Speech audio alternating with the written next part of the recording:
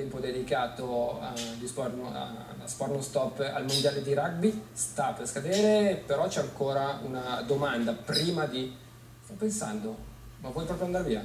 No, no, se io mi trovo molto bene qui e vorrei stare un altro quarto d'ora. Allora, magari scompaginiamo un po' la pagina. Luca Tramontin si fermerà per parlare tra poco di che sport eh, ve lo lascio solo immaginare. Al nostro tavolo ci raggiungono Inti Pestoni, Loris Prandi e Giampaolo Giannoni.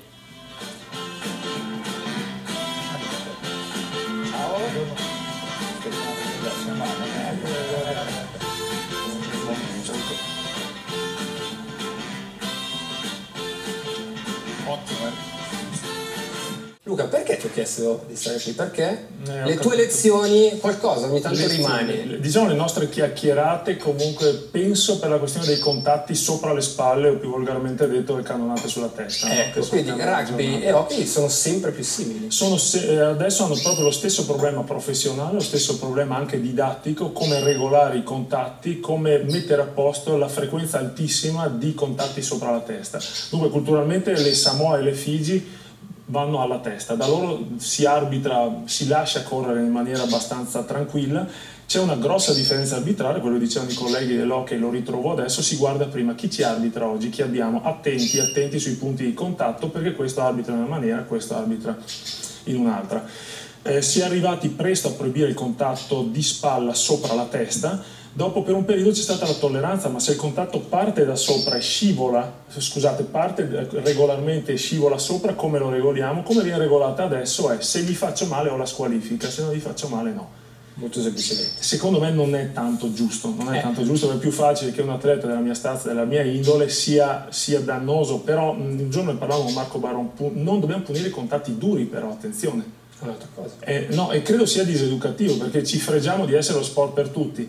E dopo invece premiamo solo chi ti può rubare la palla o il disco, che è la stessa cosa, con la destrezza. A me la destrezza non ce l'ho, voglio giocare lo stesso, quindi devo potertela rubare, devo poter bloccare l'avversario di talento, io che non ho talento, con le spalle, con i deltoidi, con l'impatto. Quindi è una linea sottilissima, dobbiamo negare i falli che danneggiano la testa, però attenti anche che se qualcuno si abbassa apposta, perché il libero professionismo arriva anche a questo, fallo di Holden l'ho visto, otto giornate sono d'accordo con Loris, poche, poche, però tanti casi, in tanti casi simili si punisce più che la brutalità del fallo la durezza dell'intervento, invece la durezza, opinione mia, dobbiamo tenercela e cara e stretta perché è un valore anche educativo secondo me. Sei convinto, Inti Pestone che ti seguiva Mm. e faceva accenno con la testa, sì, eh, è così, e lui è uno di quelli che li subisce eh, questi falli, vuol dire che ha fatto un discorso che calza alla perfezione.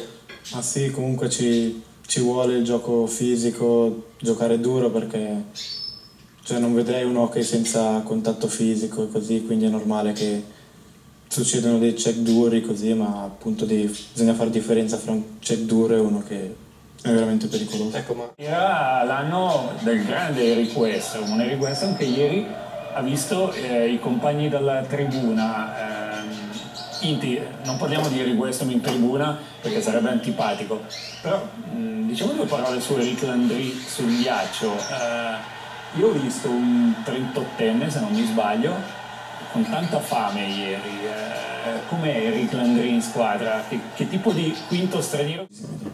Questa cosa non è piaciuta a Luca Tramontini perché se ti, fanno il contratto a quinto straniero, eh, se così eh, è così punto e basta non ti puoi lamentare, ho, ho visto che No, no, mi, mi piace anche, però dico solo metà del mio pensiero perché così risparmiamo un po' di problemi legali.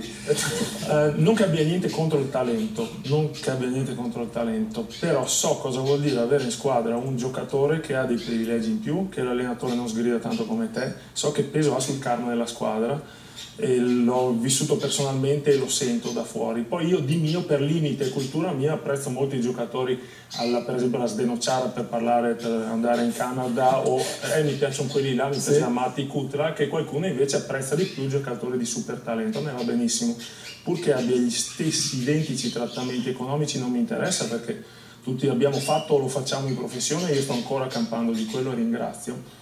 Però quando ho l'impressione vaga da fuori che un giocatore abbia qualche concessione in più, io sento una cosa che però non definisco. Ve la lascio intuire, ve la dico per telepatia, però mh, no- non vado oltre. Luca, quando un giocatore fa le veci del- dall'allenatore un bene per la squadra? Se è in armonia dalle immagini che si sono viste, da quello che si capisce seguendo, seguo da esterno l'hockey svizzero, lo seguo tanto ma solo da esterno, si ha l'impressione di sì. Se è in contrasto no, si spacca in due, necessariamente la squadra negli sport di collisione è più grave la spaccatura rispetto agli altri sport perché c'è più coinvolgimento, la fase emozionale è più carica. Se l'allenatore annuisce, come notava molto finemente Loris, e è d'accordo, benissimo, hai una competenza in più e erediti un pacchetto di competenza in più. A me piacciono soprattutto i leader silenziosi, quelli che non urlano, non spaccano, non sgridano, ma ti danno l'imbeccata giusta con calma quando serve. Capito Inti, quindi il mio consiglio è non spaccare mai niente, ma consiglio giusto al momento giusto. Lui se ne intende molto più di me. Luca, ci ritroviamo domenica prossima. Qui è giovedì allenamento, Stefano. Non era martedì? Martedì o giovedì, hai detto Ok, martedì non puoi, giovedì allenamento. Ti, fa- ti faccio un Sapere quiz. chi presenta domenica, cioè.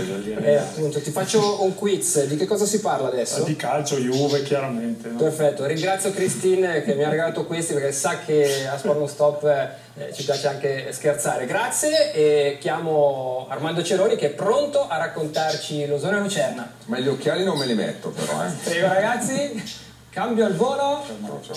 Lucia, come stai? Tutto bene? Grande.